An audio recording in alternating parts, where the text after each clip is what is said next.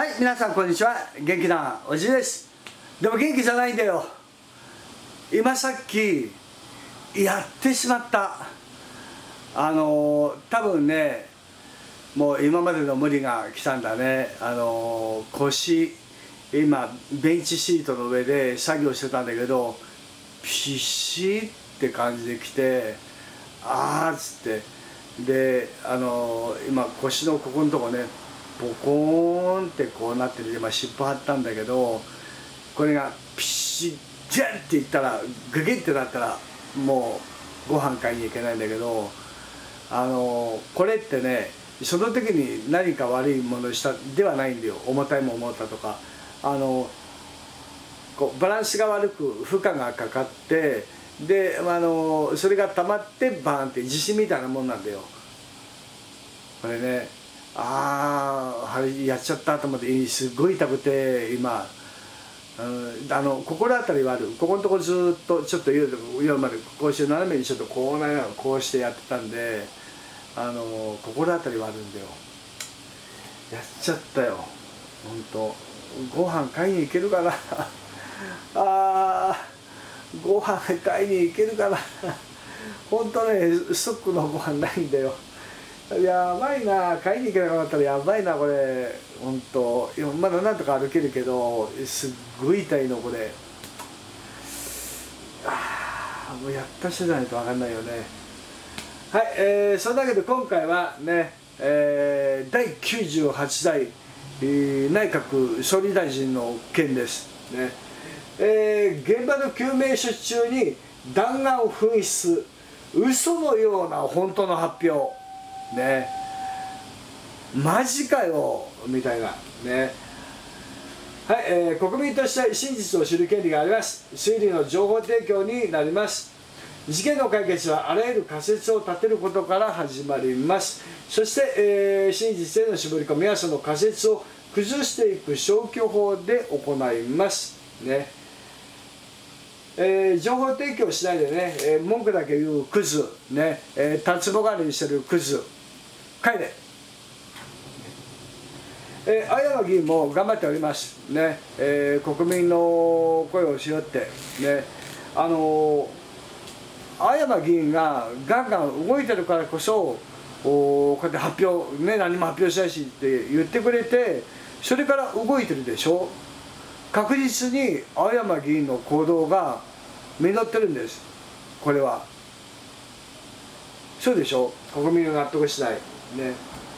あのー、本当ね青山議員は国民からの期待を背負って投票されて当選してるんですでおじいが言いたいのはその国会議員要は選挙は国民の義務だからって言いながらねはい投票したはい終わりはいあとは勝手にやってよ。これが多いんだよ考え方が。このスタイルが本来の当たり前なの。もう投票したからいいや。はいあとは勝手に頑張ってじゃなくてね。あやまさんこここの件でこうなんだけどこうなんだけどどうなのよ。ね。だ議員ってそうでしょ市会議員でも何でもその身近なものをお話聞きながらとかね。シャンティやってどんどんどんどんあの上がっていくでしょ。上に。だこのスタイルなんだよ。投票したら終わりじゃないんだよ。国民としての意見をね我々の代表なんだから国会議員は。当たり前のことなんだよこれね。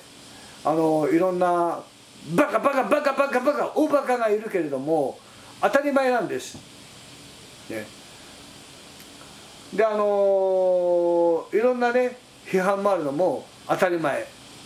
で日本人の日本人バカが多いから批判とあのねあの批判をあのなんだっけ攻撃と使うバカがいるけどもね。あのググりなさい。批判という意味を。ね。そういうバカ結構多いよ。おじいのチャンネルでは説明してるけどもね。はいそんなわけでね、えー、やっぱり青山議員はしっかりと議員という人の職務をね国民のやっぱり声を聞いて職務を全うしている議員だなとねおじいは思います。本当ねえー、だもっと国民の声をねアナさんに向けて発信すれば国民としての疑問ねそこに解決に導く行動を絶対してくれると思いますね。暴力と恐怖で支配する時代は終わる。やっちゃえおっさん。さあ今回の内容はあね私は見ていない術中には見つかっていない弾丸。でその後司法解剖。ね。でも弾がね2発撃たれたうちの1発がないっていう話なんでじゃあその1発はじゃあ術中には見つからなかったけどもじゃあ司法解剖で出てきた。ってことだよね。でもこの要は治療でもね救命でも司法解剖でも弾丸は見つからなかったって報道を散々してるわけなんだよ。この3週間。否定もなく。ね。であの青山さんはね警察からのね、えー、説明ね、えー、このように、えー、受けてないんだよ循環モーションなんだよ。ね。でも警察が遅いって言った僕は思いません。ね。これはあのー、本当相手も見てる話だからね。戦略だからねこれはね。警察が嘘言ってるからどんどん引き出しやるなんて言ったらね言うわけないじゃん。ね。はい、えー、今回 NHK のね内容です。安倍元首相銃撃事件。ね。銃撃事件だからねここはね。NHK は銃撃事件だからね、えー、体に受けたとみられる銃弾一発見つからず。安倍元総理大臣があ銃撃され死亡した事件で体に2発受けたとみられる銃弾のうち1発が見つかっていないことが捜査関係者への取材で分かりました。奈良県奈良県警察本部は取材に対し捜査には支障がないとしていますが現場検証は事件から5日後に行われていて警察当局は当時のいきさつを調べています。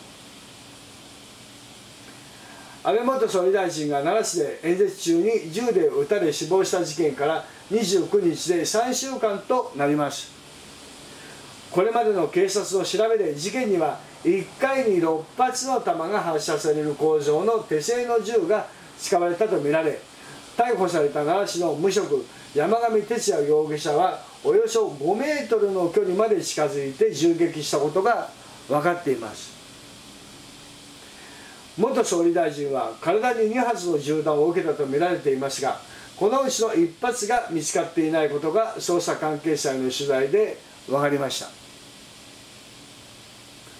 銃弾は司法解剖などで医師が調べた際には体内から見つかっておらず現場での救命処置などの際に体の外に出た可能性があるということです。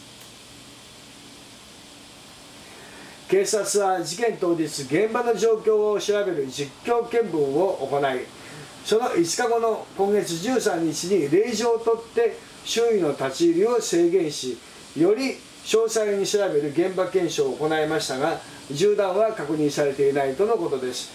あるわけねえだろ5日も経ったら。これもねこれもねだって13日に令状を取って立ち入りを制限ってなんで5日経ってからなんだよ。で山上容疑者はなんでもうその日の夕方に令状を取ってあの 家宅捜索入ってるんだよ。この差は何なんだよ。殺人現場は即座に非常線張るだろう。おかしいだろどう考えたって。えー、奈良警察本部は奈良県警察本部は取材に対し当日実況見分を行った上でその後の捜査を踏まえ実況見分ってあの交通事故のあれとねああのここのところでああったでしょ？ガードレールの内側であここのところで倒れてここで演説してて、えー、何時何分後だって A、B まあここら辺だねみたいなそんだけなんだよ。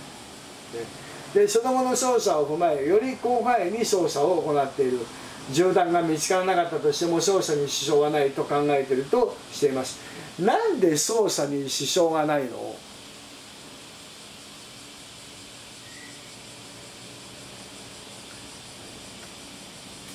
で心臓に穴が開いてないって司法解剖の結果だって大きな穴が開いているって。であの当初の発表では心臓を打ち抜かれてるって報道されたでしょう。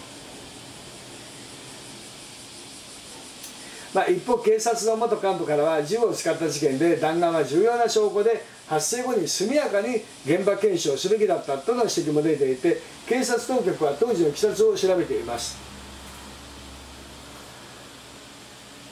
でねあの今の日本のまあ日本のっていうかあのこれねだからとんでもないことを茶番でやらないとしても後から言われるね一応責められたから一応やろうかって。なんでやらないんだ？ってね。そういったね判断に、ま、間違いがあったことをねあの間違いがなかったとは言い切れません。みたいなね。そんな会見を受けて「ちゃちゃちゃちゃちゃちゃちゃちゃ」みたいなねどうしてこうなったらいい汗だらだらかきながら、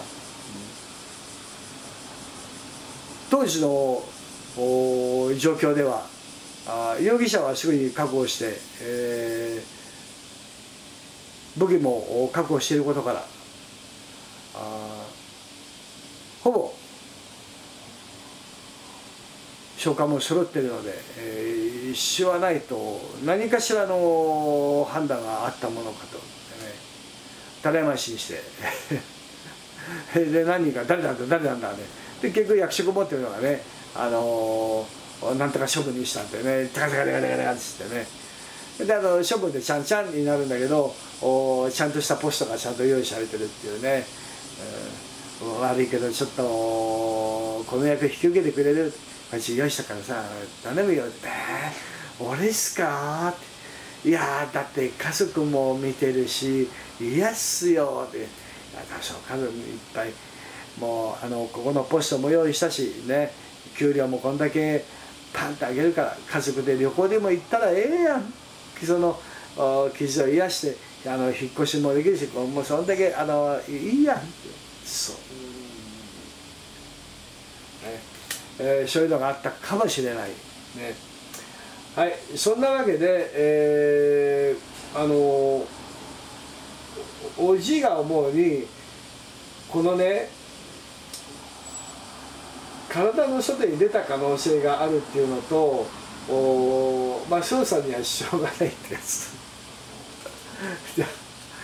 あの捜査には支障がないってどういうことなんだろうなって。だって裁判で支障もないの。だってあの結局ねやっぱりおじが言ってるようにいろんな種類の弾丸が撃ち込まれても結局その山上容疑者が空砲か空砲でないか別としてあの何かこう当たったものがあったんだとしたならば別のヒットマンがバーンって銃弾で心臓を撃ち抜いたりしてもそのヒットマンが心臓を撃ち抜いた、ね、当初の報道みたいに心臓を撃ち抜かれたってね、えー、報道してるからあのお医者さんも穴が開いてたって言ってるわけだ。からでそれ撃ち抜かれたとしてもそれを心臓に開いてないよ穴開いてないよ心臓の深さまでなんか傷があったっていうことで開いてない開いてない突き抜けてないよ。二週間猛暑って言うんだよ。あやまさんってね、えー、こんなお話になってて。でここがもう致命傷なはずなのにいやこっから来てね出血したのがこれが致命傷なんだよ。うん。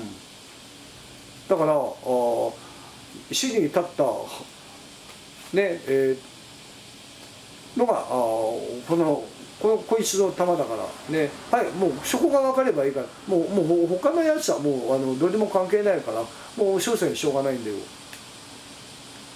てことでしょ？結局。だからこのあの元オリンピックでね活躍した人じゃないかっていうね。そういうのも国民の目が向いてるわけじゃん。射撃のプロ。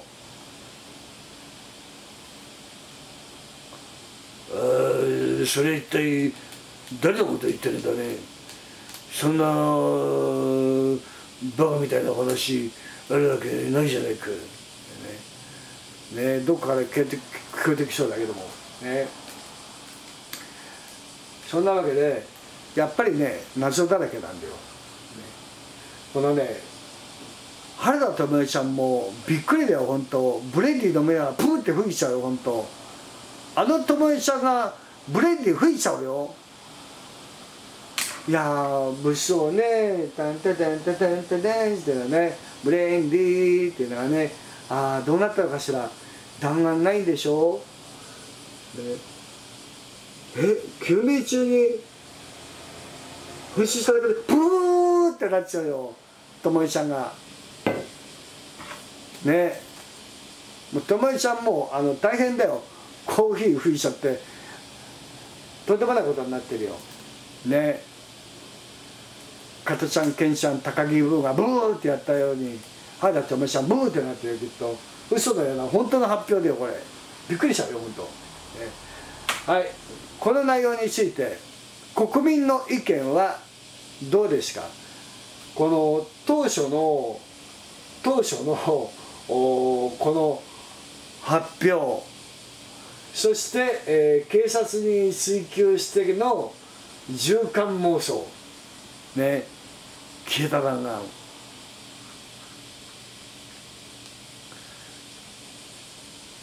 でいろんな国民の内容を見ながらね。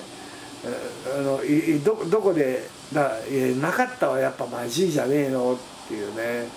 あのまあとりあえず国民の皆さんの意見をね今回はちょっと求めたいと思いますね。